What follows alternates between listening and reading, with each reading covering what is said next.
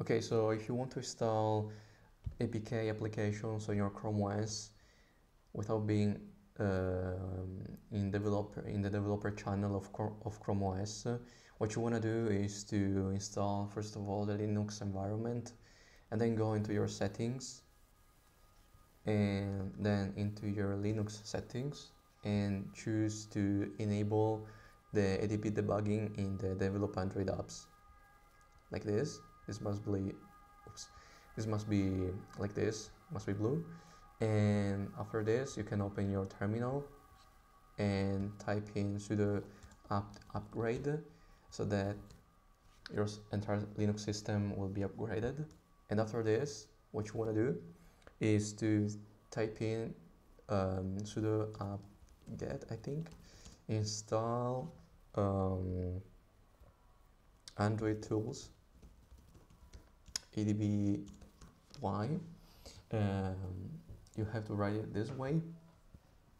Otherwise it won't work. And this will install this package over here which is needed for any Android related thing. Now um,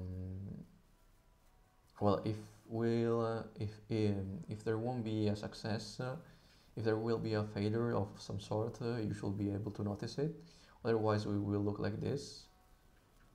And after this you want to type in sudo I think uh, sudo adb connect 11592 true and then 5555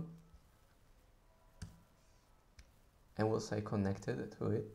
Um, eventually uh, this isn't the first time that I actually connect to it but um, the very first time you will type in this command and enter it uh, you might be asked to allow it and in that case uh, just click OK and um, should be fine. Actually after this the steps are pretty easy because all you have to do is to look for um, an APK application like um, I don't know Firefox the Firefox APK and download it. And after you have downloaded it you might ask you to actually discard or keep it. Obviously you want to keep it. And you will find the APK file in your downloads here. Um, and but after that uh, you will have to select it like this and then uh, move it into your Linux files and as you can see I've already done it now uh, now that you've got your APK file in your Linux files what you want to do is to type in your Linux terminal adb install and then and then the name of the APK file plus .apk. so now this file is called firefox.apk but if it was like Brave the Brave browser it will be called brave.apk and in the case you have to uh, input brave.apk instead of firefox.apk now here it says that there is an error.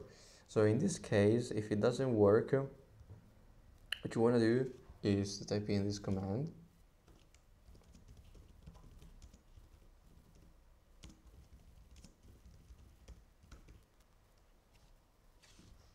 sorry was uh, 5554 which is another another channel in other words. Click enter and then wait for it to install. It should return a success and it, the APK should have been installed. In fact if you go into your uh, applications you will see your application eventually now I have my Firefox here and as you can see it works just fine